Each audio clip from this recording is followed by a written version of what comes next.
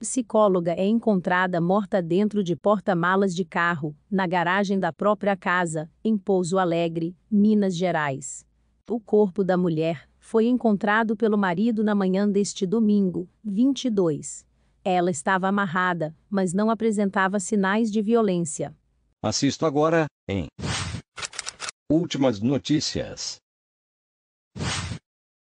O corpo de uma mulher de 37 anos foi encontrado na manhã deste domingo, 22, dentro do porta-malas do carro dela no bairro Fátima II, em Pouso Alegre, Minas Gerais.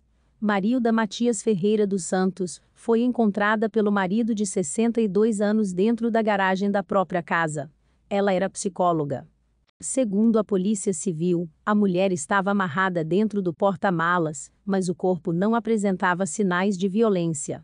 Um inquérito foi aberto e irá investigar as possíveis causas da morte de Marilda. Ainda de acordo com a polícia, além da perícia, demais mecanismos de avaliação, como exames toxicológicos, serão feitos pelos policiais. Veja mais notícias da região no G1 Sul de Minas. Se inscreva para acompanhar a cobertura desta e de muitas outras notícias. Veja também essas outras notícias que podem ser do seu interesse.